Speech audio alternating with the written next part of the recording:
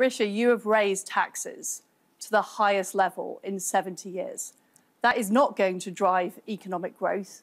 You raised national insurance, even though people like me opposed it in cabinet at the time. Back, but I'd love to stand here. I'd love to stand here and say, look, I'll cut this tax, that tax, and another tax, and it will all be okay. But you know what? It won't. There's a cost to these things, the cost of higher inflation, higher mortgage rates, eroded savings. And you know what? This something for nothing economics isn't conservative, uh, it's uh, socialism. Under your plans, we are predicted to have a recession because you have raised tax, it is cutting back on growth, it is preventing companies from investing. Them. I think you have to accept that we are in an unprecedented situation. We are going to have to do more for people to help with the cost of living. Where we really need to concentrate is on growth. And under your tax trajectory, that is going to be much harder. Okay, but, but just, Penny, you, can you, I just genuinely, pause Can you're just... generally proposing that we, we borrow to fund our day-to-day -day okay. spending, putting those bills on a credit card. Literally, oh. Jeremy Corbyn didn't think that that was the right okay, approach. Liz, so I was chief secretary to the Treasury, negotiating these pay, pay and terms with the unions. I think it is very important that the government does stick to our guns because what we can't have is a wage price spiral. We know what happened in the 1970s when inflation got out of control. We have to get the best possible deal we can uh, in all aspects of helping our hard-working public sector workers. But what we can't have is these inflationary pay rises that lead to vast problems across the economy. The key to strikes on this question is to do with trust. If people trust the government and know that the government is on their side, then people are more willing to make, go that extra mile and to have that negotiation in good faith. And the absolute key to whoever we choose as Prime Minister is got to be somebody who people trust. That's why I'm arguing we need a clean start. Because we need somebody who the pay negotiators know is actually on their side throughout all of this. Now, as somebody who's served years in the army, I can tell you that unless you get commanders you trust, you never get the answer you need.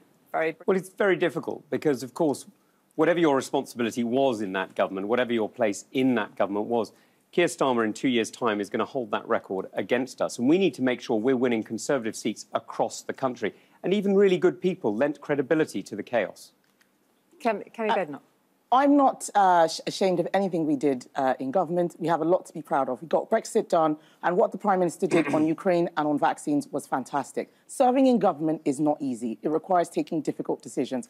Tom has never done that. It's very easy for him to criticise what we've been doing. But we have been out there on the front line making the case for Sorry, why, Kemi, I, I have been on the front line. Right I've been on the front line in Afghanistan not in and Iraq. Not in government. And I've been on the front line of the argument against Putin and against China. I've yeah. changed government policy on this. But you haven't taken any decisions. These It's easy decisions. to talk. Talking is easy.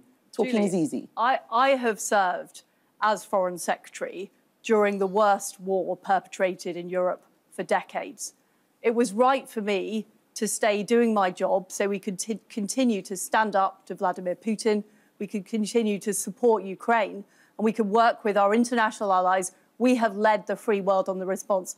I think it would have been completely irresponsible of me to leave my post so, at this vital time, not just for our country, but also for global security. I would just say to all four of my other colleagues and candidates here, I, I know why this is being done. But what I would say to you is that all attempts to paint me as an out-of-touch individual will fail. I'm the only person on this stage Penny, that has won and I'm fought a Labour seat. I'm telling you My finish, constituents please. do not elect people who are out of touch. My question is for Rishi. Myself and other ministers raised the issue of COVID loan fraud, and you dismissed us, and it has cost taxpayers £17 billion. Why didn't you take us seriously? Well, that's absolutely not right. We've taken tackling fraud incredibly seriously and set up all the systems in place to go and recover money from fraudsters, including new units, HMRC, giving Why new powers. And actually, billion? at this point, dozens of arrests have already happened and billions have been recovered. But, Rishi, but it's important. Um, Theo but it's Agnew, important. one of, one of uh, your former ministers, resigned on this issue. He is supporting my campaign, not yours. Why is that? Yeah, well, Theo's uh, entitled to his own view, but actually I'm, I'm proud of my record. And to take us back to that moment, we were on the precipice of over a million businesses going to the wall, millions of people losing their jobs. And this was not a question of weeks to get money out to them. It was a question of not even days, it was hours. And actually, we tried a system which went through an enormous amount of paperwork and bureaucracy, and it took two weeks, and it wasn't going to work. Okay. So I took the decision to design something Okay. that made sure we supported over a million businesses. Right. And you know what? We- the latest uh, we estimate asked that question since, since, since, since Theo recover. left, since Okay. Theo left, Not in the look, first this is few really hours. important, Julie. No. Actually, since Theo left, the new estimates for what the fraud will be on the bounce back loan scheme have been reduced by a third. All right. And the I'm payment performance on that loan I'm portfolio Okay, is actually far surpassed You'll have a chance. anyone's minute. expectation. Richardson, I, Well, I think there's a couple of things that we need in order to win a next general election. One of them is me as the Prime Minister, because the polling shows that I'm the only one that can beat Keir Starmer and take the fight to Labour. I beat him all over the country. I That's beat simply him not in true. London. Penny, I'm polling best in Scotland with young people, red wall, blue wall seats. That's why uh, I am subject to a, a great deal of, uh, of focus from your Penny, I respect you deeply, but- but that's not- that's the second, that's uh, the second thing we need.